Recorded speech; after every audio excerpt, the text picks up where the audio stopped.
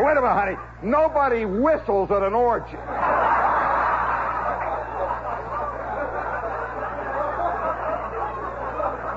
Unless you know something we don't know. I... Willing to try anything, you know. Holy smokes. Ladies and gentlemen, I am looking down right now at this minute here in the limelight on a scene of such debauchery as to make a man of good will sicken in his marrow of his bones. It's a sickening sight.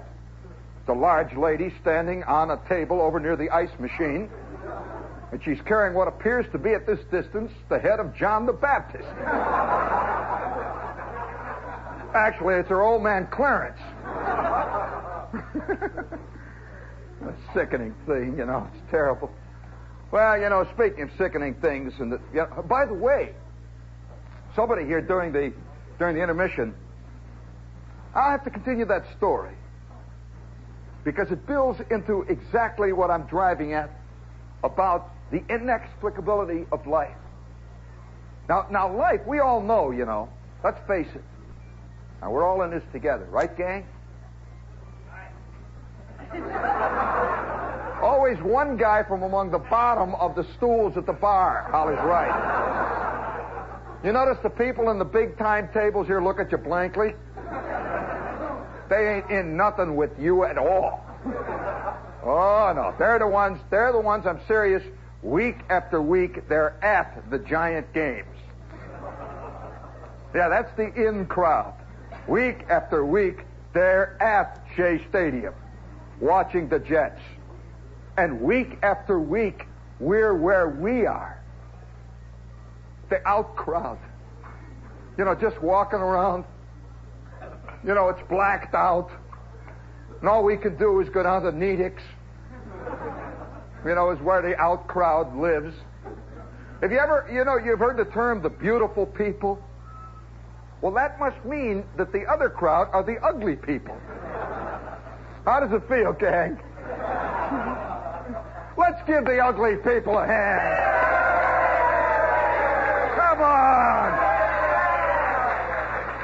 Hey, what do you say all together now? We boo the beautiful people. Boo! They're all sitting up there at Sardi's right now. You know, they're at Sardi's. They got those shades on. There's a whole crowd of them up there at Arthur's, and there, you know, the behind is going. You know, and where are we? The limelight.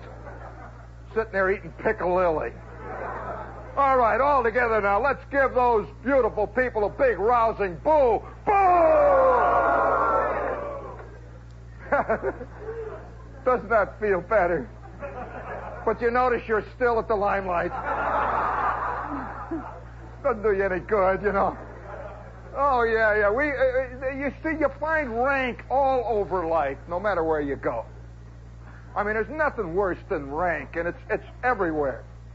I remember I'm in the army. See, me and Gasser and Edwards, and we're walking past the BOQ. Now, the BOQ is the Bachelor Officers' Quarters, and that's kind of, at, at least on our post, it was kind of a Taj Mahal. I mean, oh yeah, you could just see it. It was it was painted. I mean, that itself gave it some kind of class. You should have seen the tents that we lived in. Yeah, we lived in these little obscenities called pyramidal tents. I mean, ever since that time, guys have been trying to talk me into camping. Oh yeah, you know, and anytime some camping nut comes around and says, gee, Shep, I'll tell you, there is nothing more exciting than camping. Why, the, the, the feeling of lying there in the ground with nothing but a thin piece of canvas between you and the Big Dipper. I know that son of a gun. I wish radio was grown up. I could call him what he really is. I mean, you know, you see these guys over at Abercrombie and Fitch. And they're walking around, there's the camping department, and they have all these beautiful tents. Zippers all up and down the sides, little air conditioning units blowing stuff in. Oh, yeah. So, some tents today have even got bars built in them. Oh, the whole thing, see. And once in a while, I sneak into Abercrombie and Fitch. I'm passing, see. Because you know, Abercrombie and Fitch, friends, is strictly officers' company. This is officers' territory. And I sneak up there and I walk around and look at those tents, see. But then I get in the elevator and I see the guys that buy them, these big, tall, red-faced guys. They've got these beautiful coats with fur collars. They've got these Russian Astrakhan hats on. You know, and I'm wearing my I'm wearing my trench coat from Robert Hall. You know, the one that comes with the built-in leaks. You know, it saves a lot of work on your part. And I'm I'm I'm waiting, you know, for that day. But every time we used to walk past BOQ, Gasser would look over there. I would look over there. Edwards would look. We'd walk past. We'd watch, and we'd see the lieutenants once in a while go by the windows. And Gasser would say, "You know, Shep, I understand. Now, I it's hard to believe, but I understand them guys have got coat hangers." We'd stand there, you know, look, and then Edwards would say, and not only that, I understand that they got more than three suits of underwear. And then, of course, it always occurred to me that they never used it. Somehow they lived in a life where none of that kind of stuff was necessary. You know? Oh, yeah, we'd walk, you know, we'd walk past, oh, once in a while we'd walk past, we'd see the officers' mess hall. It was so beautiful. You could see they had, they had tablecloths. And they actually had knives and forks. And then you used to see our mess hall.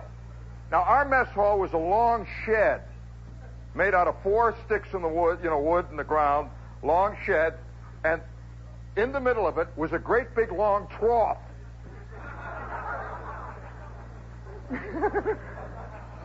the KPs would pour stuff in it. We would all line up. And you know, it, oh yeah, of course they had special food for those troughs. I remember SOS was served. And you pour it in there like that. The guy would take a great big tub of oatmeal and pour it in. Would mix all up, you know, and then they would put the powdered eggs on top of that. And he'd just say, well, how come powdered eggs on top of the SOS? He'd say, well, we're not going to have time for breakfast tomorrow. Might as well have it now. You know, they'd mix the jello and the ice cream with it. You'd take your little mess can, you know, your little mess kit. You'd sit. You had a great big spoon. You know, they figured that most GIs that were under the rank of tech sergeant were not housebroken. So they didn't give us fork. We had a big spoon. I remember sitting there with this big spoon. Like that looking around, my mess kit hanging like this. And about every, oh, I'd say about every two weeks, my mess kit would go like this. I've got it all full of SOS, see.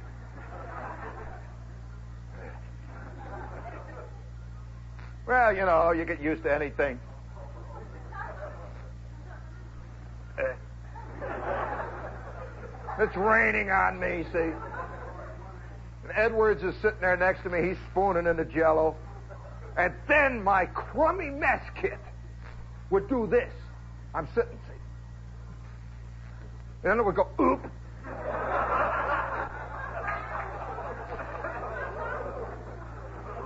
now I got a knee that is nicely iced with SOS. Well, what do you do? You got a choice. You eat, yeah, that's right, honey. Oh, I ate more dinners. I remember Thanksgiving dinner at Company K. Now, you always hear about Thanksgiving. You know, Thanksgiving is coming up Thursday, and there are millions of GIs that are going to have their Thanksgiving. I'll tell you how Thanksgiving actually works in the Army. What? oh, her girdle's tight. I see. Hear her giggling over there. Well, I, I, you know, every one of these holidays would come up, see, and there would be excitement would go through Company K.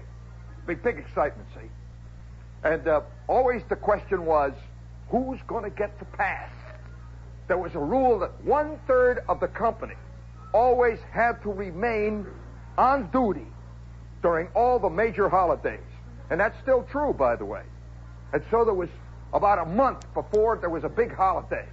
Everybody in Company K would drift apart. Look at each other. Suspicious. You know that is he going to be the one that's going to get out? Am I going to be stuck here? Oh no. We'd shift around. We'd wait in the mess hall line. Nobody's talking. It's getting tense.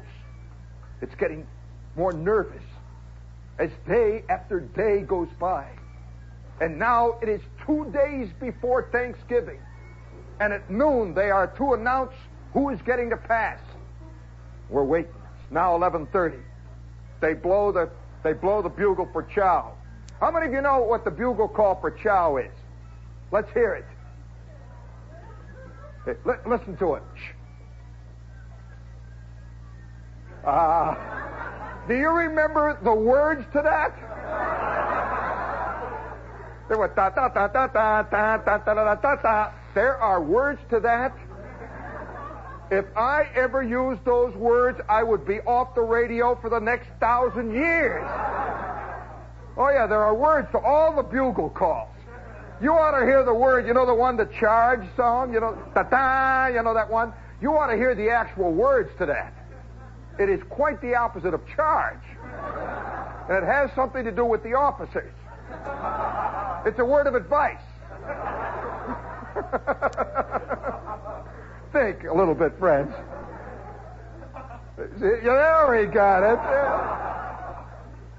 Well, I'll tell you what it is. It was darn you, Lieutenant.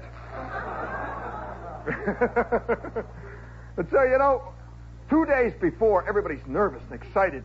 And so they blow chow call. You know, at noon, they were going to post it down on the da, da. Everybody's too excited to eat. Well, it wasn't anything. You weren't missing much.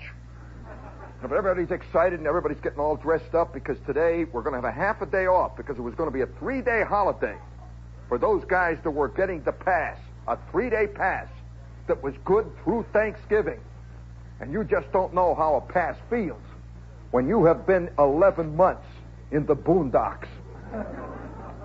I mean, we grew boondocks. We had a boondock garden. Our place, I'll tell you, it, big excitement, a typical big excitement. Boredom was so was so much, so palpably a part of our lives that boredom you could swim through it. You'd go down through the company street, all these little tents, and you'd find yourself drifting. Your mind has been turned off for 18 months. There's not even a faint buzz. You know, you just year after year goes by. And you'd sit there, you know, and you could sit in your tent. You'd sit on your foot locker. You're off. We used to work four hours on the radar set and four hours off. And you'd get off of duty, see, you're four hours. Like say at noon, you're going to be off till four. And you'd walk in, you'd sit down on your foot locker. This is the real army, friends. No kidding. You'd sit in your foot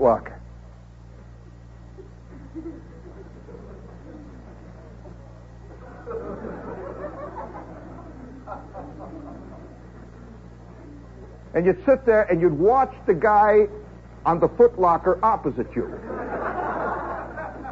polish his belt buckle.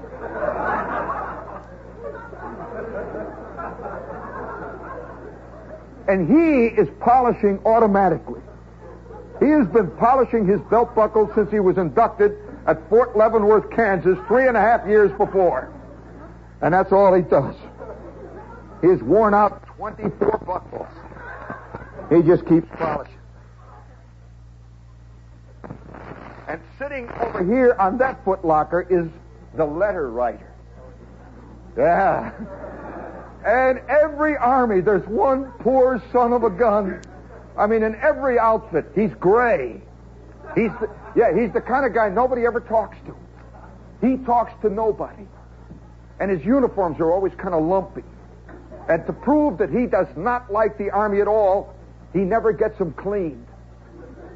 so his collars turn up. He's the little quiet gray man. And all through his army career, he's bent over this tablet, writing, eternally writing, always writing. And you watch him for a while. You watch the guy polish his belt buckle. Then you look over here, and Edwards, Edwards was a shoe man. Now there are all kinds of fetishes. Edwards had the shoe thing going. Edwards polished his shoes, I would say, on an average of 17 hours a day. All his waking hours, he's just sitting there with the shoe rag. Then he would go, Ptooey, Katapow. He was like, I'll tell you, it's like Captain Ahab. He was always searching for the ultimate shine. He was always looking, uh, you know, and it was always thought that if he ever reached that, that theoretical point where all light is reflected from his shoe. You follow me in physics? There is no light loss. That there was a rumor that if anybody was going to get to that point, it was going to be Edwards. And by the time we were discharged, Edwards would have one day reached the critical point when the light hitting his shoe would equal the light of the sun.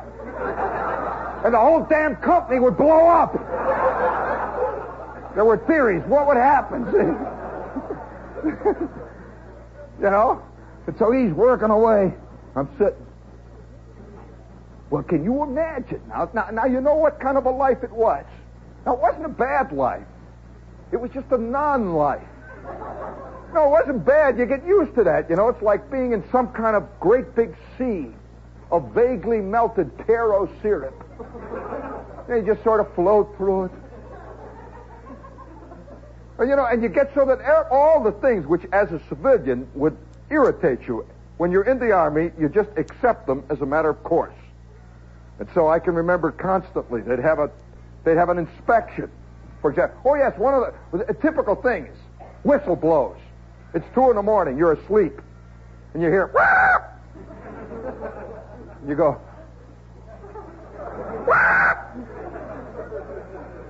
Then you hear in the darkness under the mosquito bar, you hear Gasser. He goes.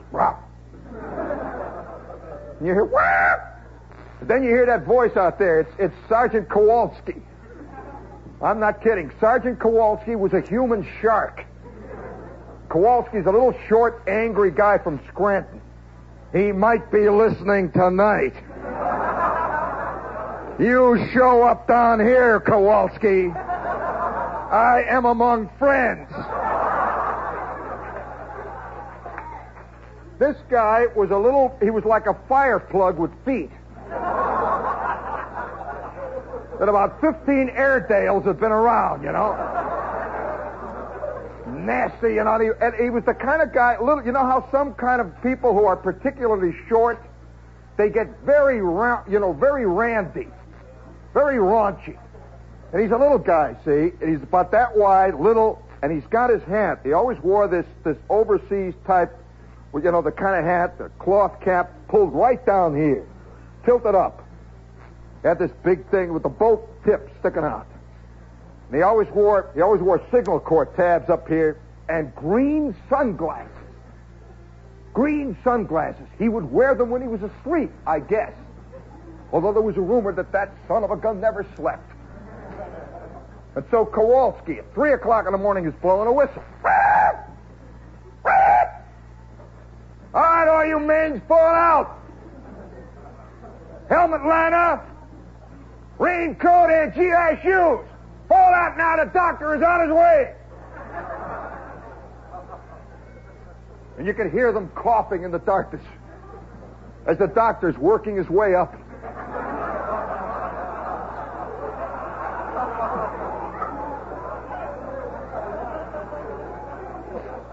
I mean, you don't even question this stuff in the Army. Just part of life, you know. I remember one time asking him, well, where do you think I've been? Haven't been out of this hole for the last year and a half. He says, it's going on your record.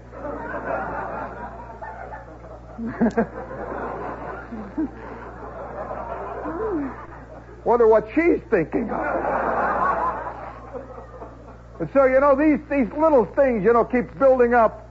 And so you can imagine, you can seriously imagine just how a three day pass away from this life would feel. I mean, you can't believe it.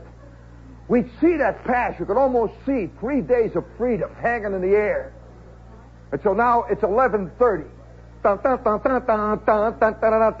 blowing, they're blowing the bugle for chow. Now, if you think 1130 is early to eat lunch, remember, we've been up since quarter to four. That's when the day in Company K began, at quarter to four. Have you ever seen a movie where they showed breakfast in the Army? Boy, that's a sight. I'll never forget. It, it, it's, it's tattooed in my mind. At four, at 4:45, it's always cold, even if you're on the on the Amazon River. It's always cold. It's always raining. And I can remember standing in a line with the rain coming down. Yeah, and the whole line is just falling off asleep. And there's a corporal going along hitting you with a rubber truncheon. Keep it moving, you guys. Keep it moving. You'd move forward, see, and you're getting that last two and a half milliseconds of sleep. You're milking it, see. Because sleep is the only thing that the private citizen owns. There is no rank in sleep. That when a general's asleep, is he a general? Does he see himself in his dreams saying, Follow me? I mean, when a PFC's asleep, does he see himself in his dreams as a general? No. He's always some kind of a civilian running over clouds. 18 girls with you know, with great big gauzy things floating from him. So we're always milking that last millisecond of sleep. Our mess kits. Moving forward. And then you knew that sleep was over the minute you felt the weight of the powdered eggs on your shoe. Because in the darkness, you see, here is a here is a PFC who's back of the great big GI cans, and he's serving. He's also asleep. He's gone.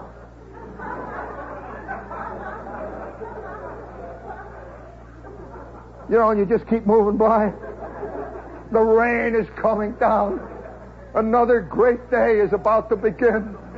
The sun is peeking up over the power shed. The rain is coming down. And every once in a while, he would miss a guy. Guy just keeps walking by. And the sergeant, you know, the mess sergeant will holler, hey, get that guy in the end there. guy get it in the back of the neck. Now, do you think Laurence Olivier could play that scene? Let's hear it. I play a whole chow line. Speaking of SOS, that reminds me, what station is this? And what magnificent Babylonian city are we in tonight? There's, and somehow he keeps reaching in and pulling me out. In fact, you know, I, I, I thought I might just apply for permanent jury duty. You know, just go down there. It's so much trouble traveling back and forth. But so we're waiting in line. And now we're sitting suspiciously. And you know, we've got our, you know, our, me, our, our usual midday meal consisted of candied beets. Now, can you understand why the Army had this thing on candied beets? I, I, to this day, I can't eat a candied beet. That candied beets, and next to the candied beets would be this unidentifiable gray thing.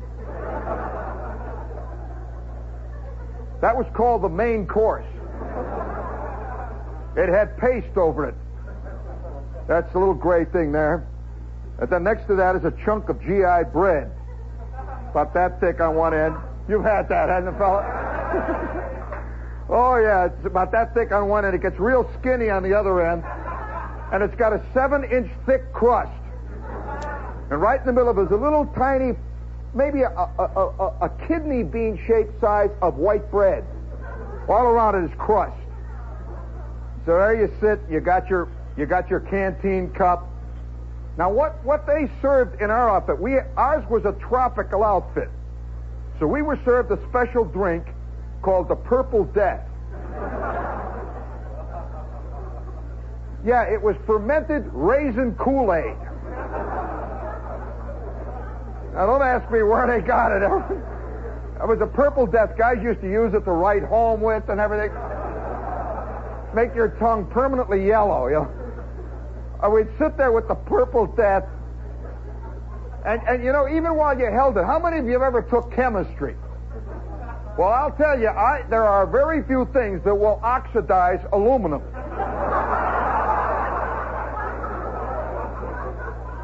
And we would sit there and you'd see the bubbles coming up, you know. There's a chemical reaction going on with this stuff.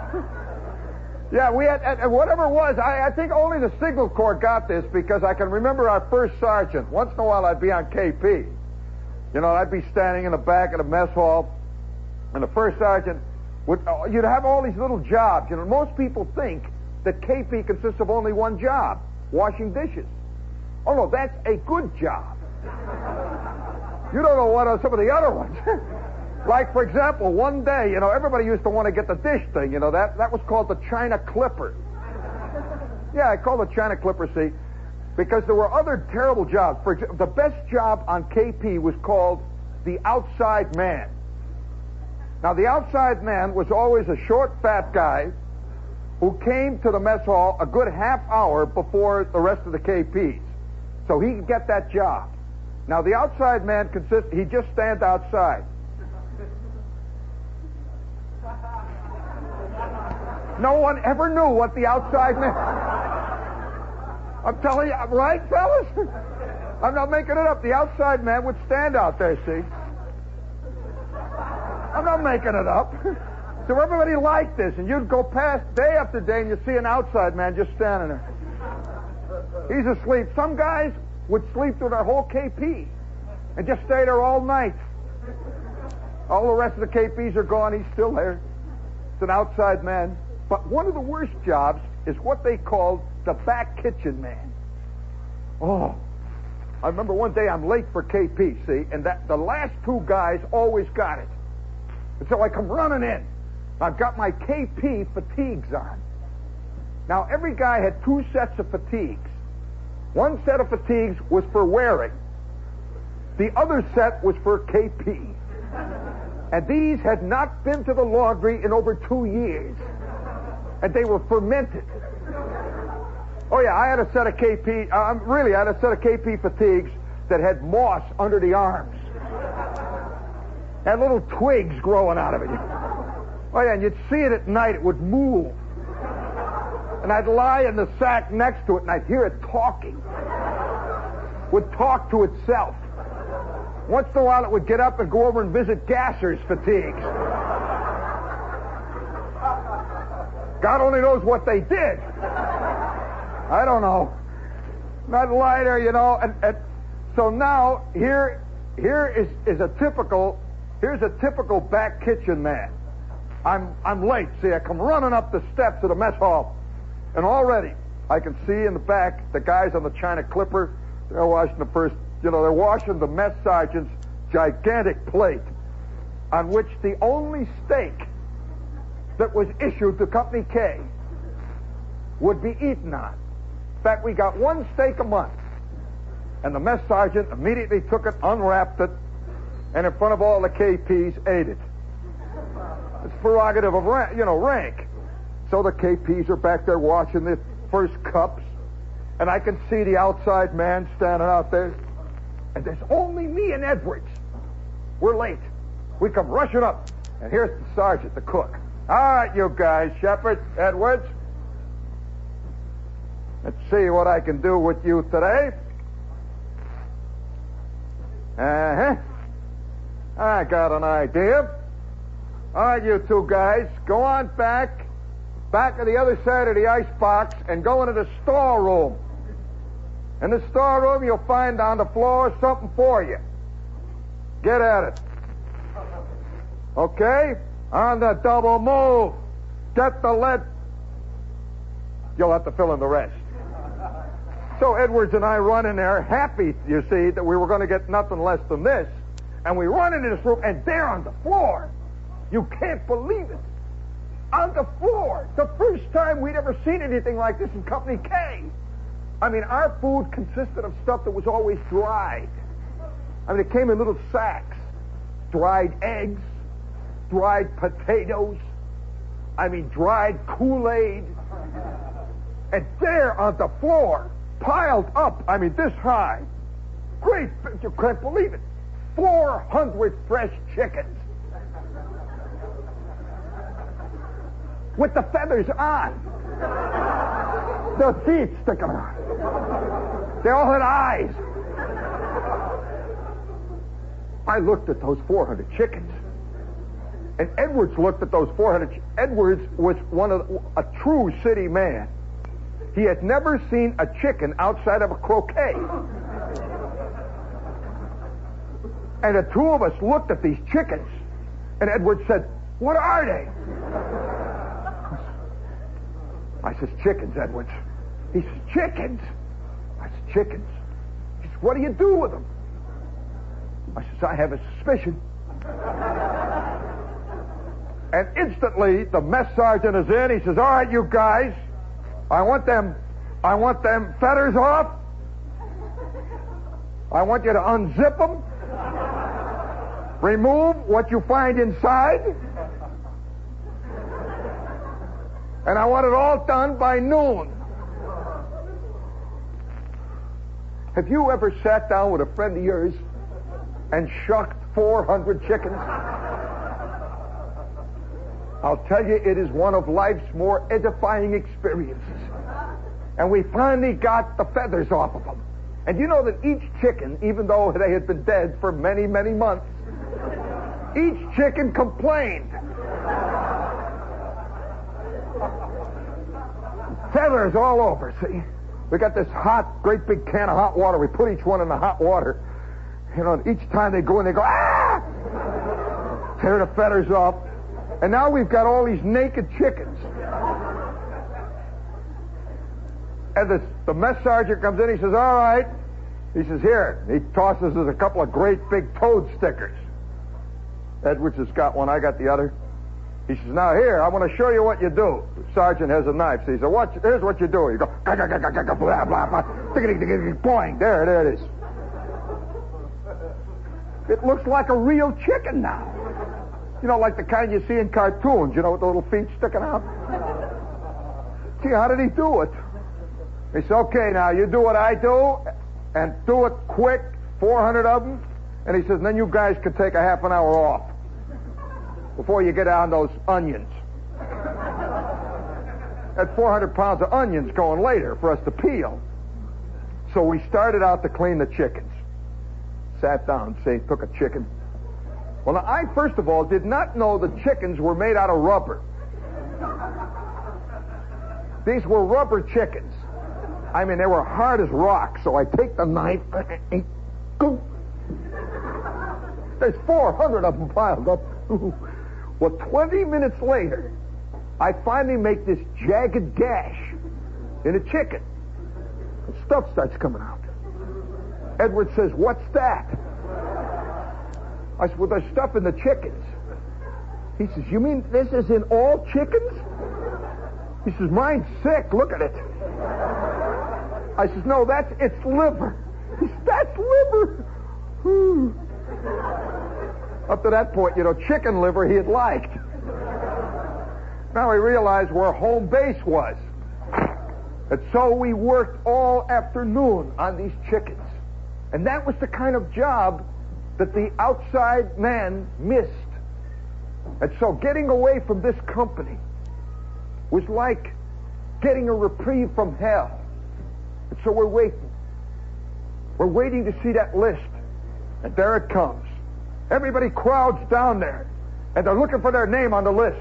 And the way they did it was to was to publish the names of the guys who were assigned to duty. So you didn't want to see your name on that list. And I rushed down, Oh, boy. Well, guess whose name? Like Abou Ben Adhem. Led all the rest. To be assigned to duty over the coming holiday, Shepherd JP, PFC, 1609896. Gasser, Edwards, Zinsmeister. You turn away, and you can hear the rest of the guys hollering, whoopee, hooray, you know, hooray. You want to kill them. You know, what is there to be thankful about? And so, Thanksgiving Day dawned bright and early. And there was a special order out that day. Now, this is the way they work Thanksgiving in the Army. A special order came out the night before. And it said, all men in this command who are assigned to Thanksgiving Day duty in the camp will be allowed to sleep until 8 a.m. Oh, you sleep till 8 o'clock in the morning. Do you know what this means? I mean, for years it had been 4.15. And so now 4.15 strikes. But you see, the Army is a creature of habit. I mean, so 4.15, which should have gone by quietly, you hear...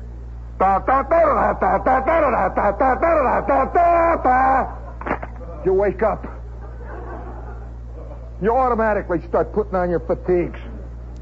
And then Gasser says, hey, we can sleep till eight. And sure enough, we sank back on our sacks and laid there, and we couldn't sleep. We couldn't sleep. We just lay there and tossed, you know. You get up. Gee whiz, my bunk must have you pulled your bunk. Isn't this great, Gasser? Yeah. Hey, Edwards, how about you? Yeah. But for three and a half hours, we just lay there, staring up. The sun now arches high over Company K. It is Thanksgiving Day. And so we go out now, we stand our, our little company roll call, 8.30 in the morning. Sergeant Kowalski's out there, that rotten sergeant. He walks up and down in front of us. He's got suntans on now, see. He's dressed up. He said, men, today, even though one thought of you has to be here in the camp, don't, it ain't no skin off my you-know-what. I don't want nobody to think that I'm going to play no favorites here. And I want one thing for you to remember. This is the best damn company in the whole damn army, right? Right. That's right. And then Edwards next to me says, I wonder what the rest of the army is like if that's true. you know, there's another side to the story. And then Kowalski said, and this is where the bomb hit. He said, Men, Lieutenant Cherry and I have decided that we're going to celebrate Thanksgiving here in Company K. And I want all of you guys to dress up in your Class A's. Get off them fatigues, put on your Class A's, and today at noon we will begin to celebrate Thanksgiving. All right? Corporal, dismiss the men. And that corporal stands up there. We had this little red-haired corporal from Nashville who is Kowalski's understudy. He was working in that field, you know. He all right, attention! At ease! Attention! Dismissed! He just liked to see us squatting down. You know, he played with us there a little bit. And so we split, you know. We go back to our we go back to our tents, and there's Gasser and Edwards. And Gasser says, Well, what is what does this look like? That's what we're going to celebrate. Well, I guess as long as we're here, we might as well make the best of it. And so we started to get dressed. Now, perhaps you people who've never been in the Army don't know the luxury of getting dressed in a clean pair of suntans. I mean, where you've been, you know, for weeks, you've been taking a shower with a little can of water over your head. You know, and, and every every GI keeps one pair of suntans in reserve. Now the suntans are the khaki uniforms. And those are kept in reserve for big moments. And so we've got our beautiful new suntans on. All sharp, little hat. It's now about, oh, 10 o'clock in the morning.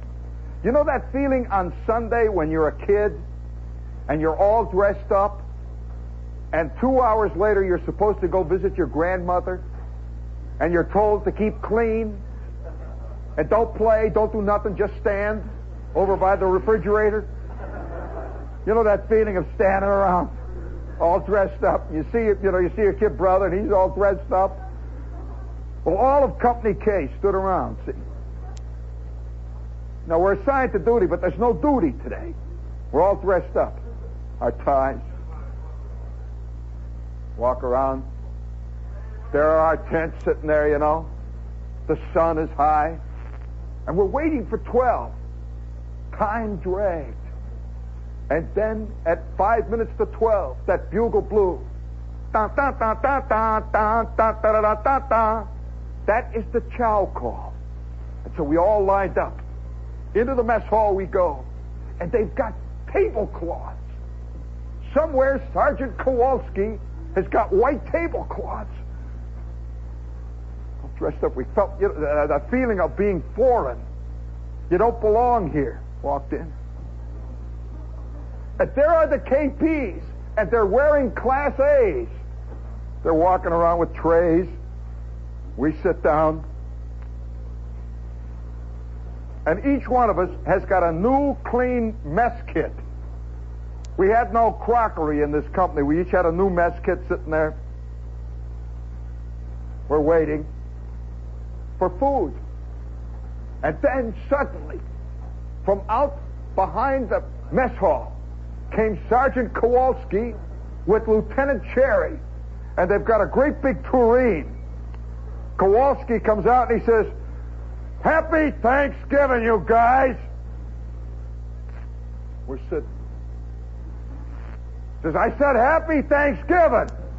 You're going to have a happy Thanksgiving, right? I said you're going to be happy. Right. And then he opened up the tureen. Big flourish. And it is a turkey. It is a great big turkey made out of SOS. they had molded it.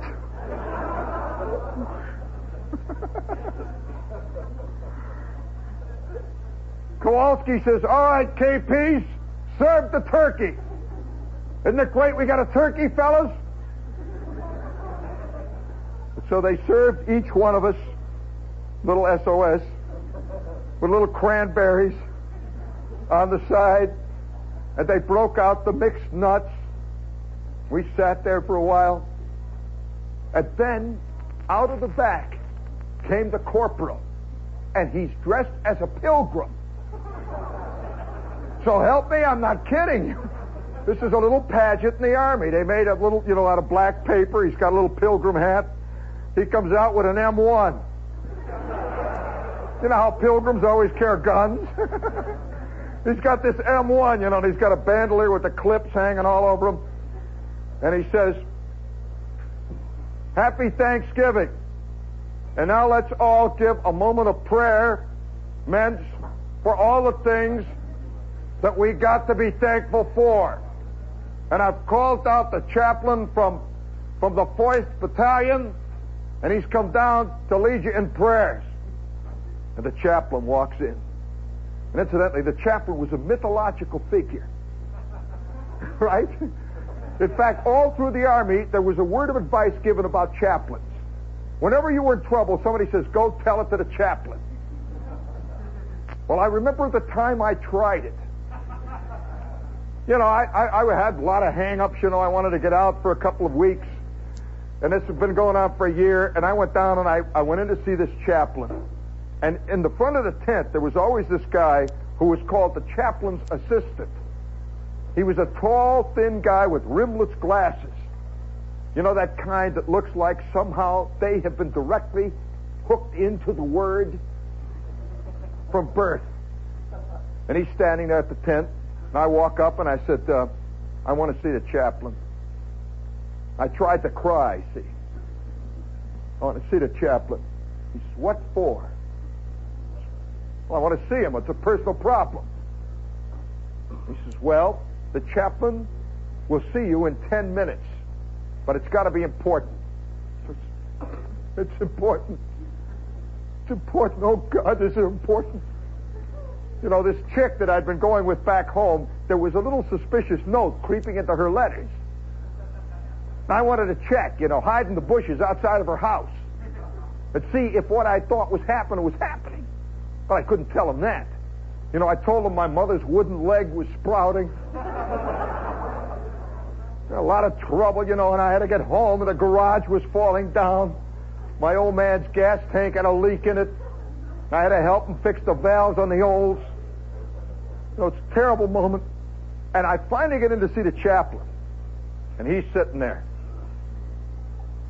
Very official. He's got this round face. He looked like a disenfranchised dentist. You know, he had these big, big rimless glasses, and he's sitting there waiting for me. And out in the front of the tent, the corporal, who was the chaplain's assistant, began to play on what they called an M2 folding model field organ. You ever seen one of those? You can get them on the surplus market. They fold up, you know and they're they're GI colored, and he's out there playing, you know, something like da da da da da da da da da da, something very pious, maybe bringing in the sheaves. That's always a good one. He's playing away, and I walk into the chaplain. The chaplain, remember, is a captain. Don't forget that. I am a yard bird. I am so far down that they wouldn't even let me snipe butts. So I come in, salute. Sir, I have permission to see the chaplain, sir. And he's sitting there. His bar is shining. He looks up and he says, Yes. You know how the chaplain sound. And I said, Sir, I have permission to see the chaplain, sir, on a personal problem problem of greatest import to myself. He says, Attention, private. Somehow, you know, I could see things were going downhill. He says, Attention. I says, Yes, sir. Just give your name, rank, and serial number. Uh, I couldn't remember my name. I mean, when you're looking at God, you don't remember a lot of stuff. I said, uh, uh, oh, yes, yes. Shepherd, JP 1609896 PVT. Yes, sir. Company K, sir. Be seated. Well, he was the kind, you know, that had this vast thorax cavity. I mean, he was used to berating an enormous congregation of sinners. And you could just hear he had that kind of voice, you know, that always says, God. That's a special word, God. And so he's a very official type, you know. And I sit there and I said, uh, May I tell tell the chaplain my personal problem, sir? Of course. That's what I am here for. And I am sure that, that God, in His infinite wisdom, will see fit to give me the proper solution to your problems.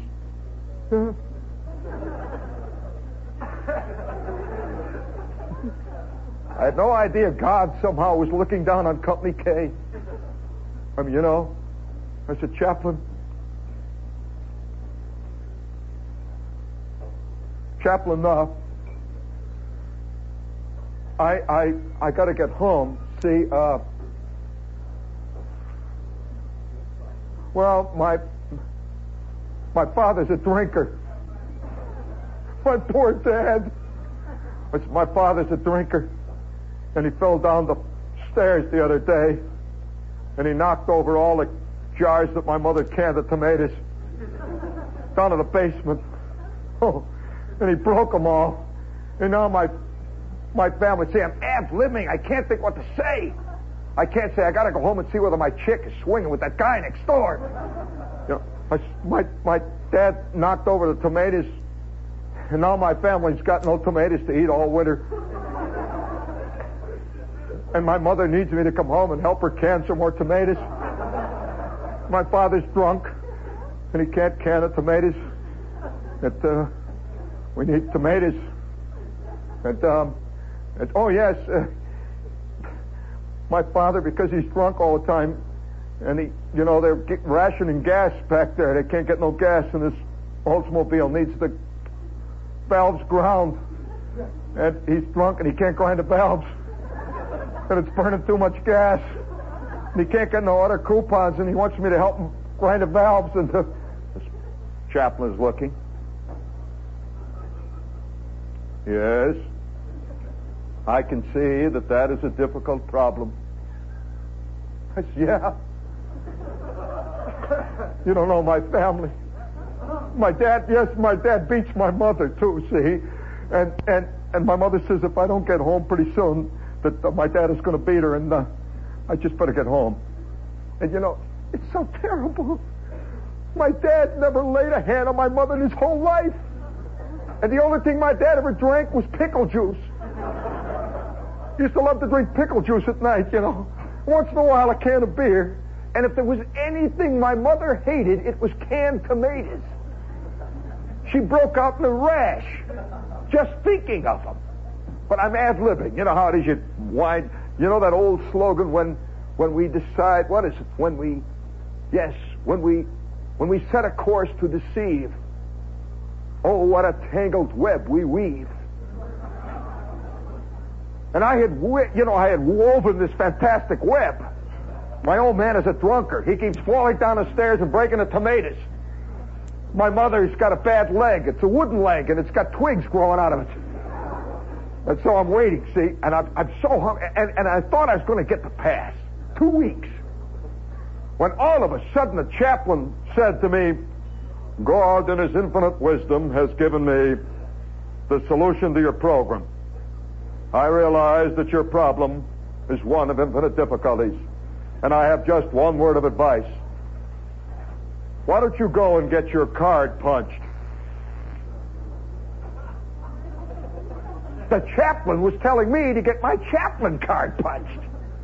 He was telling me to take my TS card and get it punched at the chaplain. And then it suddenly occurred to me that even chaplains go someplace to tell it to the chaplain. And the chaplain looks at him and says, Well, that's tough, Jack. That's tough. Why don't you get your card punched? And it was that moment that I had this great revelation that no matter where you go, there is always somebody above you. And as you get above him, there's somebody above him. And that ultimately, when you get up finally before that great bar of justice, and you look down, and you think you've been a sinner, and the great, the great judge looks at you and says, Nope, you're going to heaven. You're going to feel cheated." Because you wonder what the other ones did that you missed. So let's give the sinners a hand out there, out there in the darkness. And we'll be back next.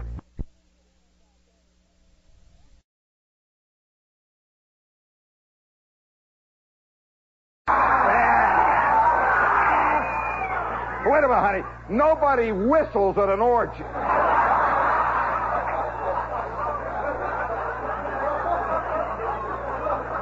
Unless you know something we don't know. I... Willing to try anything, you know. Holy smokes. Ladies and gentlemen, I am looking down right now at this minute here in the limelight on a scene of such debauchery as to make a man of goodwill sicken in his marrow of his bones. It's a sickening sight. It's a large lady standing on a table over near the ice machine and she's carrying what appears to be at this distance the head of John the Baptist. Actually, it's her old man Clarence. A sickening thing, you know. It's terrible. Well, you know, speaking of sickening things, and the, yeah, by the way, somebody here during the during the intermission, I'll have to continue that story because it builds into exactly what I'm driving at about the inexplicability of life. Now, now, life, we all know, you know. Let's face it. Now, we're all in this together, right, gang? Always one guy from among the bottom of the stools at the bar hollers right. You notice the people in the big time tables here look at you blankly? They ain't in nothing with you at all. Oh no, they're the ones, they're the ones, I'm serious, week after week, they're at the giant games. Yeah, that's the in crowd. Week after week, they're at Shea Stadium watching the Jets.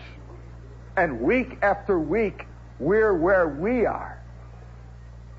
The out crowd. You know, just walking around. You know, it's blacked out. And all we can do is go down to Nedick's. You know, is where the out crowd lives.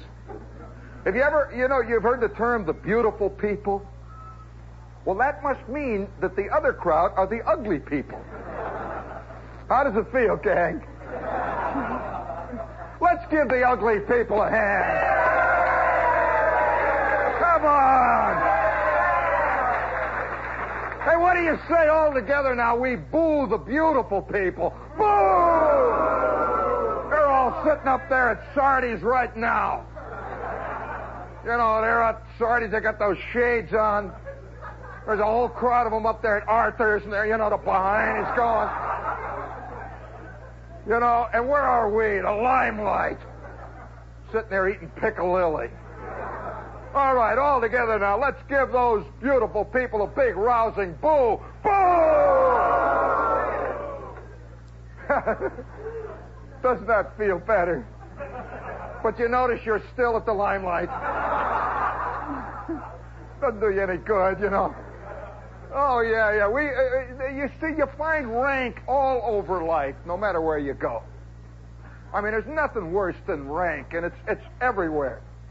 I remember I'm in the army. See, me and Gasser and Edwards, and we're walking past the BOQ.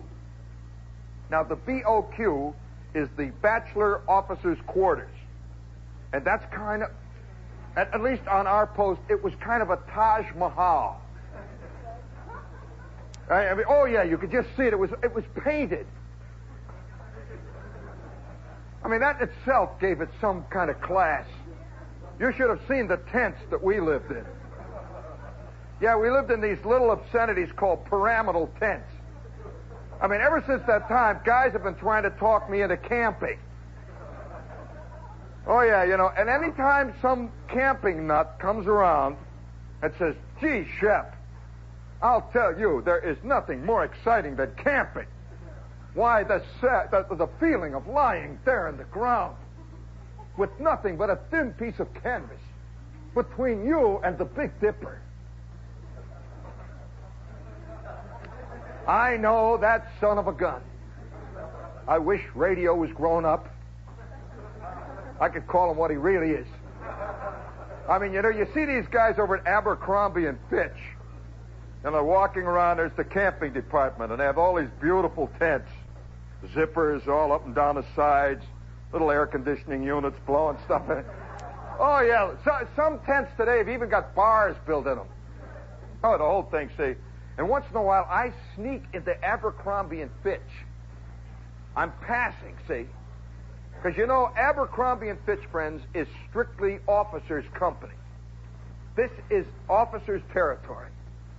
And I sneak up there and I walk around and look at those tents, see. And then I get in the elevator and I see the guys that buy them, these big, tall, red-faced guys. They've got these beautiful coats with fur collars. They've got these Russian Astrakhan hats on. You know, and I'm wearing my I'm wearing my trench coat from Robert Hall. You know, the one that comes with the built-in leaks. You know, it saves a lot of work on your part. And I'm, I'm, I'm waiting, you know, for that day. But every time we used to walk past BOQ. Gasser would look over there. I would look over there. Edwards would look. We'd walk past. We'd watch and we'd see the lieutenants once in a while go by the windows. And Gasser would say, You know, Shep, I understand. Now, I, it's hard to believe, but I understand them guys have got coat hangers. We'd stand there, you know, look. And then Edwards would say, and not only that, I understand that they got more than three suits of underwear. And then, of course, it always occurred to me that they never used it. Somehow they lived in a life where none of that kind of stuff was necessary. You know? Oh yeah, we'd walk, you know, we'd walk past, oh, once in a while we'd walk past, we'd see the officers' mess hall. It was so beautiful. You could see they had, they had tablecloths. And they actually had knives and forks. And then you used to see our mess hall. Now, our mess hall was a long shed made out of four sticks in the wood, you know, wood in the ground, long shed, and in the middle of it was a great big long trough.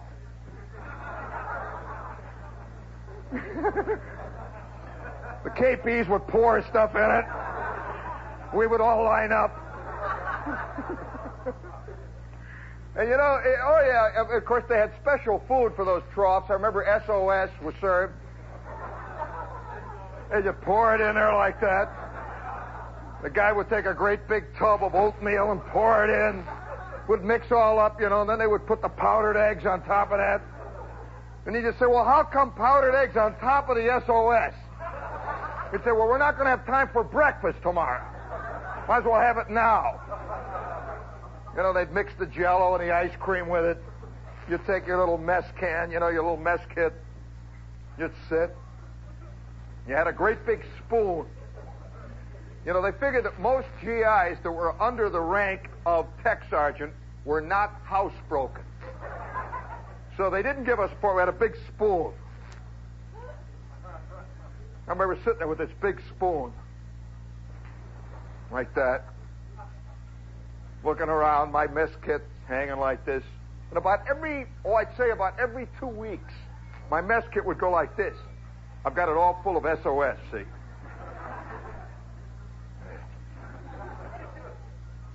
Well, you know, you get used to anything. Uh, Uh, it's raining on me, see? And Edwards is sitting there next to me. He's spooning in the jello.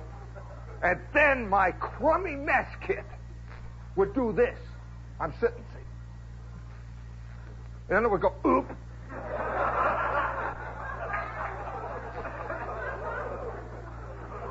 Now I got a knee that is nicely iced with SOS. Well, what do you do? You got a choice. You eat, yeah, that's right, honey. Oh, I ate more dinners. I remember Thanksgiving dinner in Company K. Now, you always hear about Thanksgiving. You know, Thanksgiving is coming up Thursday, and there are millions of GIs are going to have their Thanksgiving. I'll tell you how Thanksgiving actually works in the Army. What? oh, her girdle's tight. I see. Hear her giggling over there. Well, I, I, you know, every one of these holidays would come up, see, and there would be excitement would go through Company K. Big, big excitement, see. And uh, always the question was, who's going to get the pass? There was a rule that one third of the company always had to remain on duty during all the major holidays. And that's still true, by the way. And so there was about a month before there was a big holiday. Everybody in Company K would drift apart, Look at each other, suspicious. You know, that is he going to be the one that's going to get out? Am I going to be stuck here? Oh, no. We'd shift around. We'd wait in the mess hall line. Nobody's talking. It's getting tense. It's getting more nervous as day after day goes by. And now it is two days before Thanksgiving. And at noon they are to announce who is getting the pass. We're waiting. It's now 11:30. they blow the they blow the bugle for chow. How many of you know what the bugle call for chow is? Let's hear it.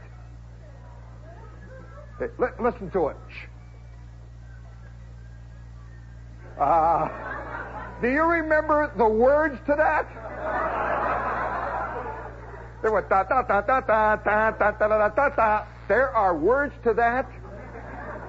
If I ever used those words, I would be off the radio for the next thousand years. Oh yeah, there are words to all the bugle calls. You ought to hear the word, you know the one, the charge song, you know, da da, you know that one? You ought to hear the actual words to that. It is quite the opposite of charge. And it has something to do with the officers. It's a word of advice. Think a little bit, friends. There we got it. Well, eh, I'll tell you what it is. It was darn you, Lieutenant. and so, you know, two days before, everybody's nervous and excited. And so they blow chow call, you know, at noon. They were going to post it down on the boulevard. Da. Everybody's too excited to eat. Well, it wasn't anything. You weren't missing much. But everybody's excited and everybody's getting all dressed up because today we're going to have a half a day off because it was going to be a three day holiday for those guys that were getting the pass, a three day pass that was good through Thanksgiving. And you just don't know how a pass feels when you have been 11 months in the boondocks. I mean, we grew boondocks. We had a boondock garden. Our place, I'll tell you, it, big excitement, a typical big excitement. Boredom was so was so much, so palpably a part of our lives that boredom you could swim through it. You'd go down through the company street, all these little tents, and you find yourself drifting. Your mind has been turned off for 18 months. There's not even a faint buzz. You know, you just year after year goes by. And you'd sit there, you know, and you could sit in your tent. You'd sit on your foot locker. You're off. We used to work four hours on the radar set and four hours off. And you'd get off of duty, see, you're four hours. Like say at noon, you're going to be off till four. And you'd walk in, you'd sit down on your footlocker. This is the real army, friends. No kidding. You'd sit in your footlocker.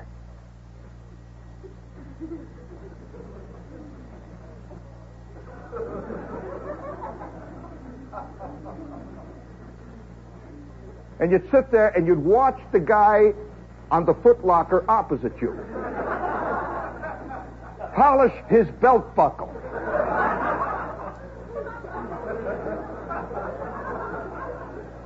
And he is polishing automatically. He has been polishing his belt buckle since he was inducted at Fort Leavenworth, Kansas, three and a half years before. And that's all he does. He's worn out 24 buckles. He just keeps polishing. And sitting over here on that footlocker is the letter writer. Yeah. And every army, there's one poor son of a gun. I mean, in every outfit, he's gray. He's the, yeah, he's the kind of guy nobody ever talks to. He talks to nobody.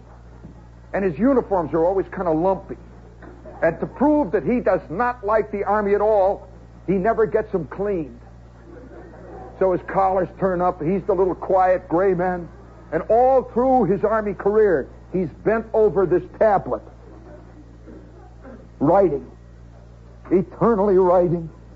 Always writing. And you watch him for a while. You watch the guy polish his belt buckle. Then you look over here, and Edwards, Edwards was a shoe man. Now there are all kinds of fetishes. Edwards had the shoe thing going. Edwards polished his shoes, I would say, on an average of 17 hours a day. All his waking hours, he's just sitting there with the shoe rag. Then he would go, patooey, katapow. He was like, I'll tell you, it's like Captain Ahab. He was always searching for the ultimate shine. He was always looking, uh, you know, and it was always thought that if he ever reached that, that theoretical point where all light is reflected from his shoe. You follow me in physics? There is no light loss. That there was a rumor that if anybody was going to get to that point, it was going to be Edwards. And by the time we were discharged, Edwards would have one day reached the critical point when the light hitting his shoe would equal the light of the sun. And the whole damn company would blow up. There were theories. What would happen? you know? And so he's working away. I'm sitting. Well, can you imagine? Now, now, now you know what kind of a life it was. Now, it wasn't a bad life. It was just a non-life. No, it wasn't bad. You get used to that. You know, it's like being in some kind of great big sea of vaguely melted Karo syrup. You just sort of float through it. And, you know, and you get so that all the things which, as a civilian, would irritate you, when you're in the army, you just accept them as a matter of course. And so I can remember constantly they'd have a they'd have an inspection. For example, oh yes, one of the typical things, is whistle blows. It's two in the morning, you're asleep, and you hear you go,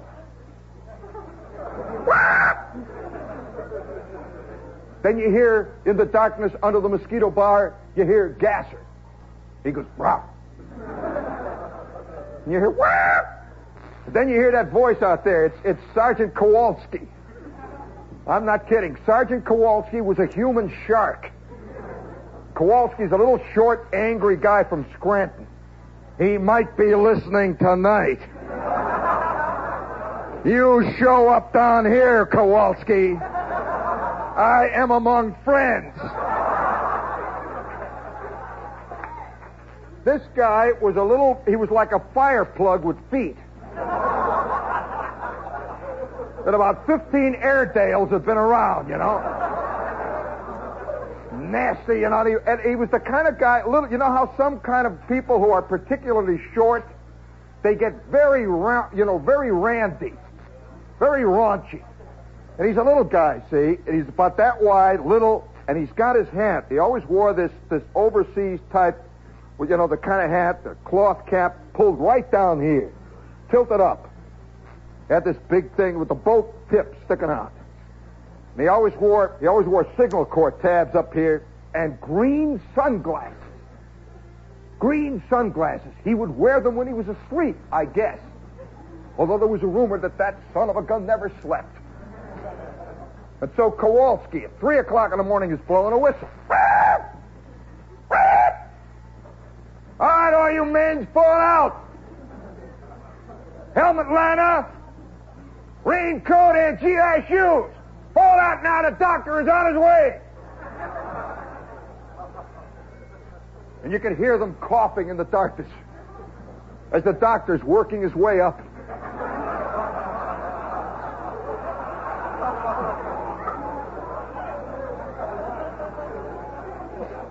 I mean, you don't even question this stuff in the Army. Just part of life, you know. I remember one time asking him, well, where do you think I've been? Haven't been out of this hole for the last year and a half. He says, it's going on your record.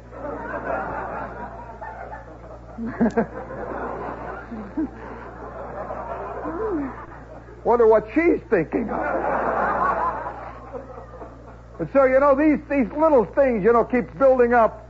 And so you can imagine, you can seriously imagine just how a three-day pass away from this life would feel. I mean, you can't believe it. We'd see that pass. You could almost see three days of freedom hanging in the air. And so now it's 1130. They're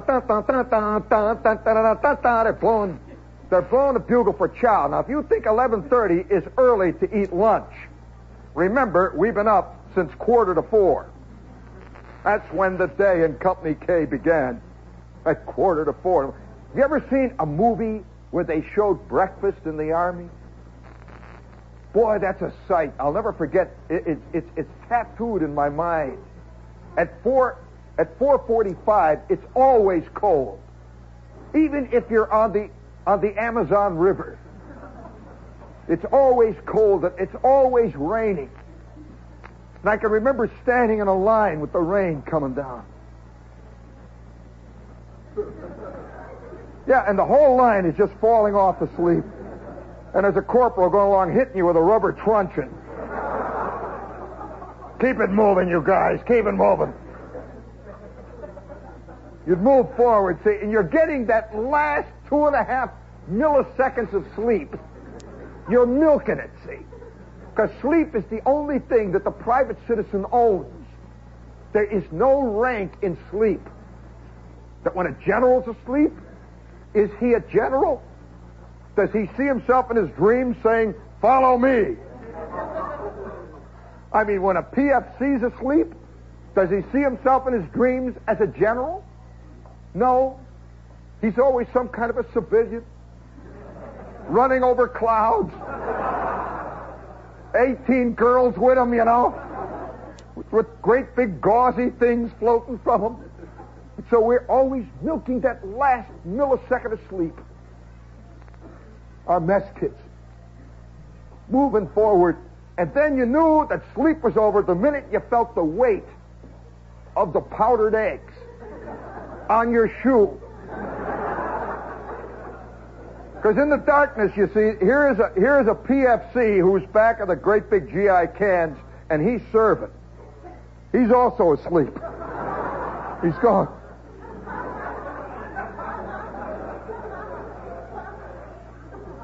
You know, and you just keep moving by. The rain is coming down. Another great day is about to begin. The sun is peeking up over the power shed. The rain is coming down. And every once in a while, he would miss a guy. Guy just keeps walking by. And the sergeant, you know, the mess sergeant will holler, hey, get that guy in the end there. Guy get it in the back of the neck. Now, do you think Laurence Olivier could play that scene? Let's hear it. I play a whole chow line. Speaking of SOS, that reminds me, what station is this? And what magnificent Babylonian city are we in tonight? There's, and somehow he keeps reaching in and pulling me out. In fact, you know, I, I, I thought I might just apply for permanent jury duty. You know, just go down there. It's so much trouble traveling back and forth. And so we're waiting in line. And now we're sitting suspiciously. And you know, we've got our, you know, our, me, our, our usual midday meal consisted of candied beets. Now, can you understand why the Army had this thing on candied beets? I, I, to this day, I can't eat a candied beet. That candied beets.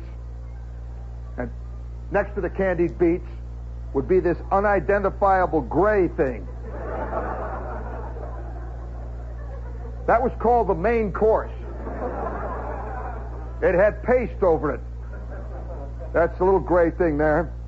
And then next to that is a chunk of GI bread. About that thick on one end. You've had that, hasn't it, fella? oh, yeah, it's about that thick on one end. It gets real skinny on the other end. And it's got a seven inch thick crust. And right in the middle of it is a little tiny, maybe a, a, a, a kidney bean shaped size of white bread. All around it is crust.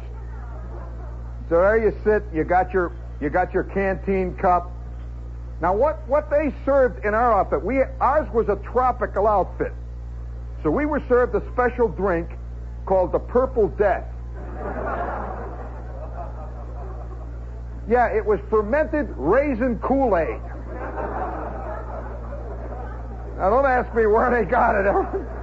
It was a Purple Death. Guys used to use it to write home with and everything make your tongue permanently yellow. You know? We'd sit there with the purple death. And, and you know, even while you held it, how many of you have ever took chemistry? Well, I'll tell you, I, there are very few things that will oxidize aluminum.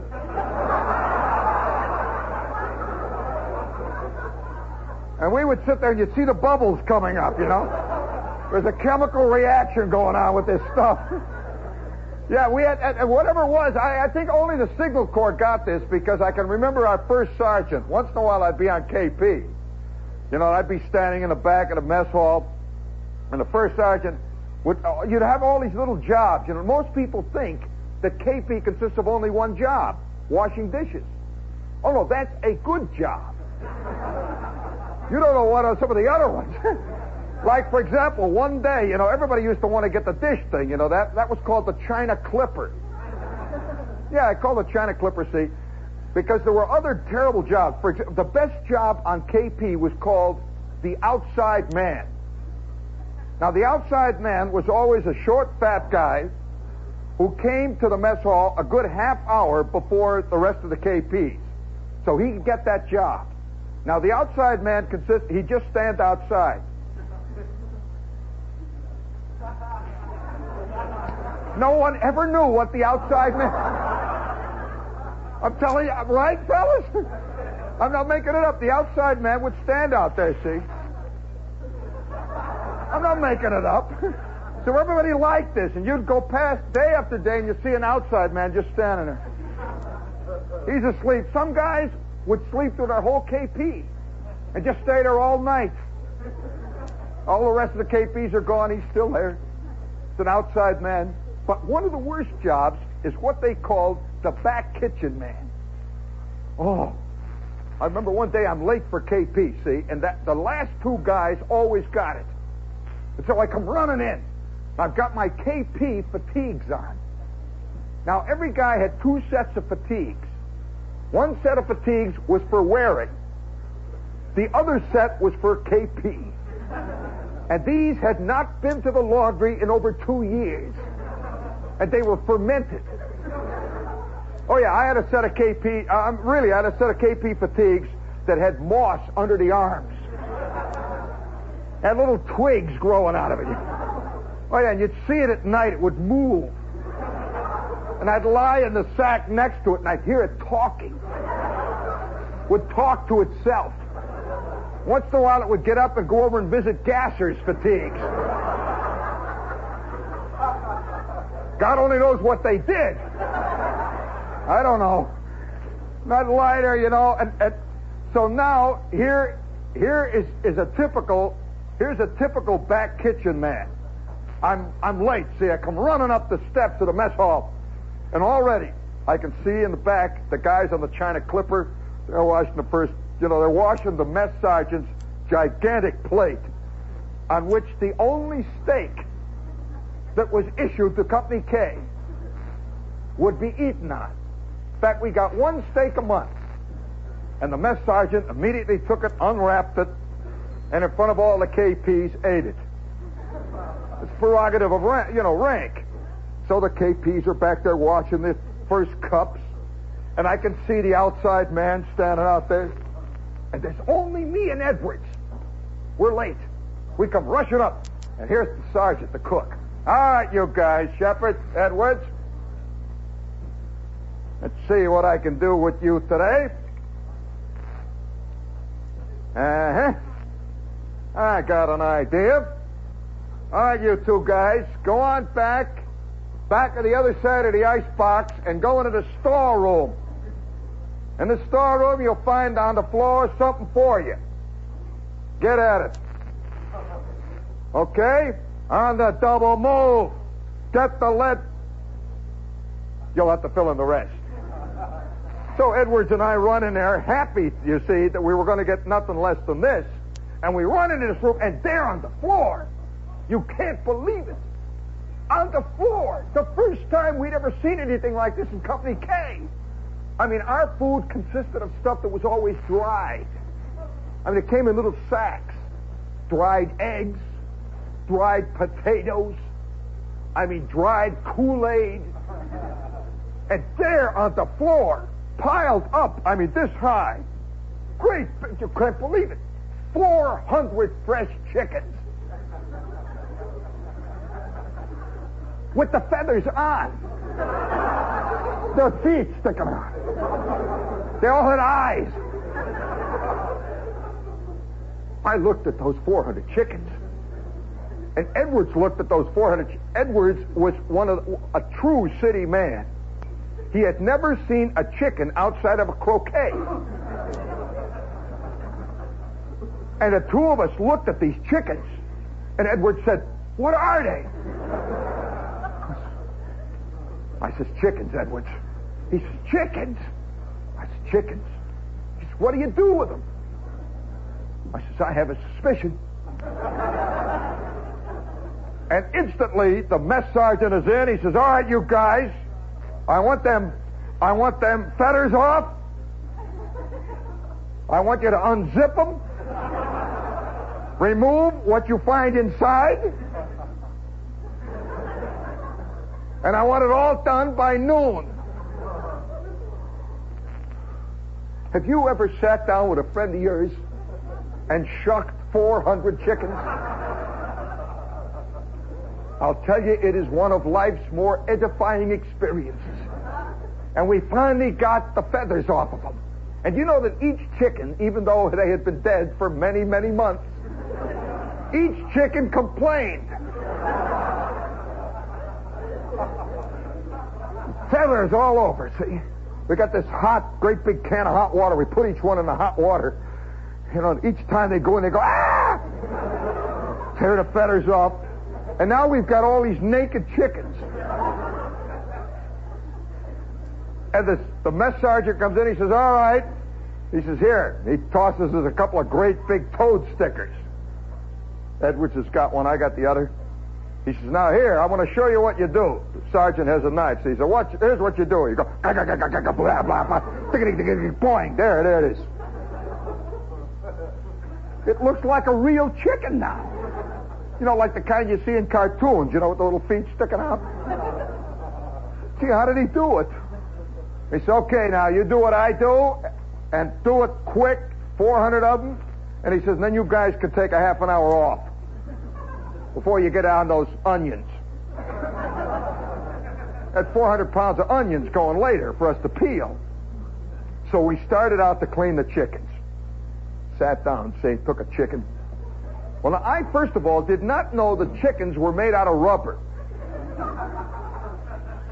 These were rubber chickens. I mean, they were hard as rock. So I take the knife. There's 400 of them piled up. Well, 20 minutes later, I finally make this jagged gash in a chicken. And stuff starts coming out. Edward says, What's that? I said, Well, there's stuff in the chickens. He says, You mean this is in all chickens? He says, Mine's sick. Look at it. I says, No, that's it's liver. He says, That's liver. Up to that point, you know, chicken liver he had liked. Now he realized where home base was. And so we worked all afternoon on these chickens. And that was the kind of job that the outside man missed. And so getting away from this company was like getting a reprieve from hell. And so we're waiting. We're waiting to see that list. And there it comes. Everybody crowds down there. And they're looking for their name on the list. And the way they did it was to, was to publish the names of the guys who were assigned to duty. So you didn't want to see your name on that list. And I rushed down. Oh boy, well, guess whose name? Like Abou Ben Adhem led all the rest. To be assigned to duty over the coming holiday, Shepherd JP, PFC, 1609896, Gasser, Edwards, Zinsmeister. You turn away, and you can hear the rest of the guys hollering, whoopee, hooray, you know, hooray, you want to kill them. You know, what is there to be thankful about? And so, Thanksgiving Day dawned bright and early. And there was a special order out that day. Now, this is the way they work Thanksgiving in the Army. A special order came out the night before. And it said, All men in this command who are assigned to Thanksgiving Day duty in the camp will be allowed to sleep until 8 a.m. Oh, you sleep till 8 o'clock in the morning. Do you know what this means? I mean, for years it had been 4.15. And so now 4.15 strikes. But you see, the Army is a creature of habit. I mean, so 4.15, which should have gone by quietly, you hear,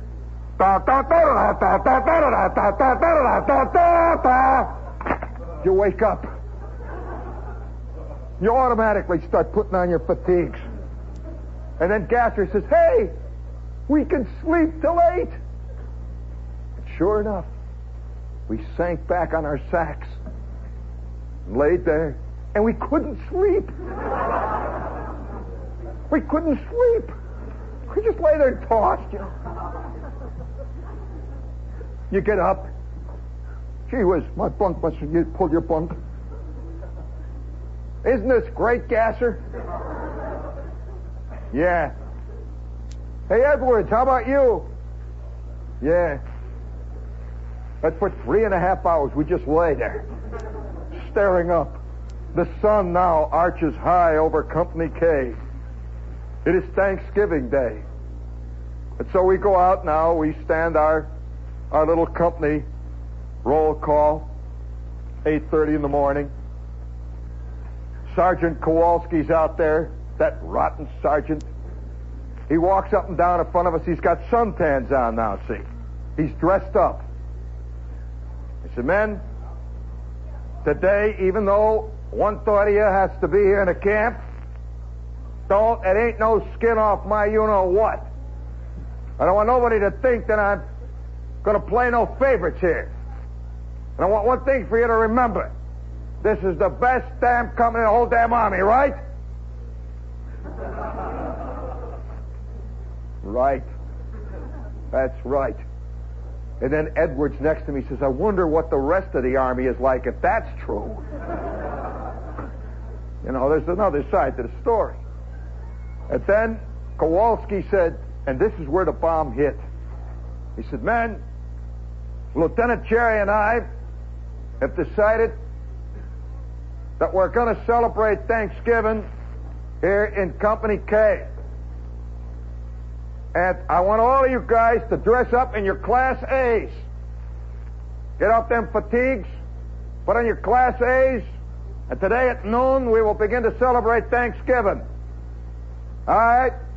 Corporal, dismiss the men. And that corporal stands up there. We had this little red-haired corporal from Nashville who is Kowalski's understudy. He was working in that field, you know. He said, all right, attention! At ease! Attention! Dismissed! He just liked to see us squatting down. You know, he played with us there a little bit. And so we split, you know. We go back to our we go back to our tents, and there's Gasser and Edwards.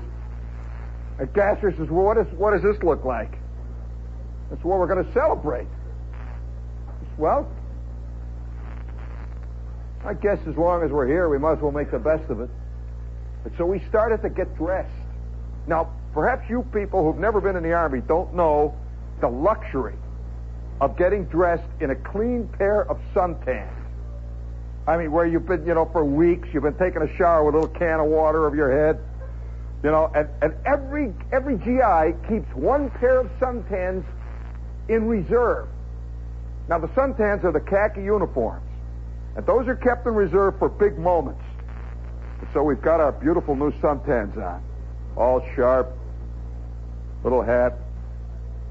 It's now about, oh, 10 o'clock in the morning. You know that feeling on Sunday when you're a kid and you're all dressed up and two hours later you're supposed to go visit your grandmother and you're told to keep clean and don't play, don't do nothing, just stand over by the refrigerator. You know that feeling of standing around all dressed up. You see you know, you see your kid brother and he's all dressed up. Well, all of Company K stood around. See? Now, we're assigned to duty, but there's no duty today. We're all dressed up. Our ties. Walk around. There are our tents sitting there, you know. The sun is high. And we're waiting for 12. Time dragged. And then at five minutes to 12, that bugle blew. That is the chow call. And so we all lined up. Into the mess hall we go. And they've got tablecloths. Somewhere Sergeant Kowalski has got white tablecloths. All dressed up. We felt you know, that feeling of being foreign. You don't belong here. Walked in. And there are the KPs, and they're wearing Class A's. They're walking around with trays. We sit down. And each one of us has got a new, clean mess kit. We had no crockery in this company. We each had a new mess kit sitting there. We're waiting for food. And then suddenly, from out behind the mess hall, came Sergeant Kowalski with Lieutenant Cherry. And they've got a great big tureen. Kowalski comes out and he says, Happy Thanksgiving, you guys. We're sitting. Says, I said happy Thanksgiving. You're going to have a happy Thanksgiving, right? I said you're going to be happy. Right. And then he opened up the tureen. Big flourish. And it is a turkey. It is a great big turkey made out of SOS. they had molded it.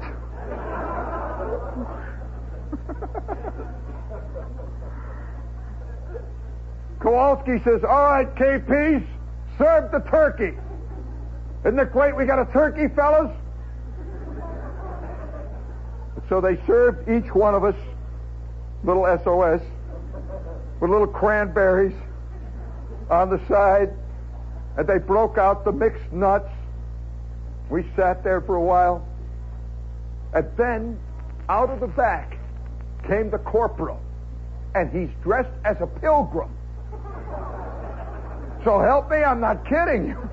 This is a little pageant in the army. They made a little, you know, out of black paper. He's got a little pilgrim hat. He comes out with an M1. You know how pilgrims always carry guns? he's got this M1, you know, and he's got a bandolier with the clips hanging all over him. And he says, Happy Thanksgiving. And now let's all give a moment of prayer, men, for all the things that we got to be thankful for. And I've called out the chaplain from, from the 4th Battalion, and he's come down to lead you in prayers. And the chaplain walks in. And incidentally, the chaplain was a mythological figure. right? In fact, all through the Army, there was a word of advice given about chaplains. Whenever you were in trouble, somebody says, go tell it to the chaplain. Well, I remember the time I tried it. You know, I, I, I had a lot of hang-ups. You know, I wanted to get out for a couple of weeks. And this has been going on for a year. And I went down and I, I went in to see this chaplain. And in the front of the tent, there was always this guy who was called the chaplain's assistant. He was a tall, thin guy with rimless glasses. You know, that kind that looks like somehow they have been directly hooked into the word from birth. And he's standing there at the tent, and I walk up and I said, uh, I want to see the chaplain. I tried to cry, see. I want to see the chaplain. He says, What for?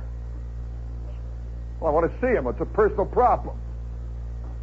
He says, Well, the chaplain will see you in 10 minutes, but it's got to be important. It's important. It's important. Oh, God, is important. You know, this chick that I'd been going with back home, there was a little suspicious note creeping into her letters. I wanted to check, you know, hide in the bushes outside of her house and see if what I thought was happening was happening. But I couldn't tell him that. You know, I told him my mother's wooden leg was sprouting.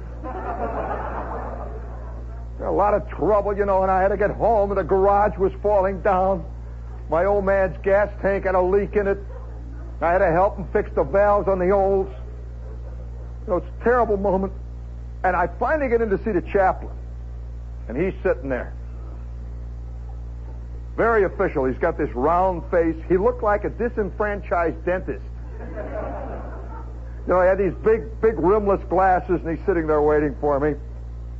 And out in the front of the tent, the corporal, who was the chaplain's assistant, began to play on what they called an M2 folding model field organ. You ever seen one of those? You can get them on the surplus market. They fold up, you know. And they're they're GI colored, and he's out there playing, you know, something like da da da da da da da da da da. Something very pious, maybe bringing in the sheaves. That's always a good one. He's playing away, and I walk into the chaplain. The chaplain, remember, is a captain. Don't forget that. I am a yard bird. I am so far down that they wouldn't even let me snipe butts. So I come in, salute. Sir, I have permission to see the chaplain, sir. And he's sitting there. His bar is shining. He looks up and he says, Yes. You know how the chaplain sound. And I said, Sir, I have permission to see the chaplain, sir, on a personal problem. Problem of greatest import to myself. He says, Attention, private. Somehow, you know, I could see things were going downhill. He says, Attention. I says, Yes, sir. Just give your name, rank, and serial number. Uh, I couldn't remember my name. I mean, when you're looking at God, you don't remember a lot of stuff. I said, uh, uh, oh, yes, yes. Shepherd, JP 16098-946, PBT. Yes, sir. Company K, sir. Be seated.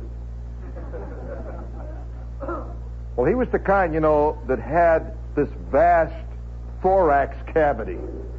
I mean, he was used to berating an enormous congregation of sinners. And you could just hear he had that kind of voice, you know, that always says, God. That's a special word, God. And so he's a very official type, you know. And I sit there and I said, uh, May I tell, tell the chaplain my personal problems, sir? Of course. That's what I am here for. And I am sure that, that God, in His infinite wisdom, will see fit to give me the proper solution to your problems.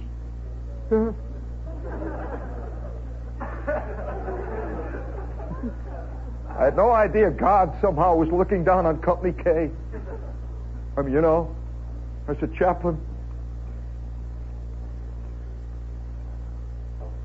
Chaplain, uh, I I I got to get home. See, uh, well, my my father's a drinker. My poor dad. It's my father's a drinker, and he fell down the stairs the other day, and he knocked over all the jars that my mother canned the tomatoes down to the basement. Oh, and he broke them all. And now my my family say I'm ad-libbing. I can't think what to say. I can't say I got to go home and see whether my chick is swinging with that guy next door. You know, I, my my dad knocked over the tomatoes, and now my family's got no tomatoes to eat all winter. And my mother needs me to come home and help her can some more tomatoes. My father's drunk, and he can't can the tomatoes. It, uh, we need tomatoes. And, um, and oh, yes, uh, my father, because he's drunk all the time, and he, you know, they're rationing gas back there. They can't get no gas, and this Oldsmobile needs the valves ground. And he's drunk, and he can't grind the valves. and it's burning too much gas. And he can't get no other coupons, and he wants me to help him grind the valves. And the, the chaplain is looking. Yes, I can see that that is a difficult problem. I said, yeah. You don't know my family. My dad, yes, my dad beats my mother too, see? And, and, and my mother says if I don't get home pretty soon, that uh, my dad is going to beat her and uh, I just better get home. And you know, it's so terrible. My dad never laid a hand on my mother in his whole life. And the only thing my dad ever drank was pickle juice. Used to love to drink pickle juice at night, you know. Once in a while, a can of beer. And if there was anything my mother hated, it was canned tomatoes. She broke out in a rash just thinking of them. But I'm ad-libbing. You know how it is. You wind. You know that old slogan when when we decide what is it? When we yes, when we when we set a course to deceive. Oh, what a tangled web we weave. And I had, you know, I had woven this fantastic web. My old man is a drunkard. He keeps falling down the stairs and breaking the tomatoes. My mother's got a bad leg. It's a wooden leg, and it's got twigs growing out of it. And so I'm waiting, see, and I'm, I'm so hungry, and, and I thought I was going to get the pass. Two weeks.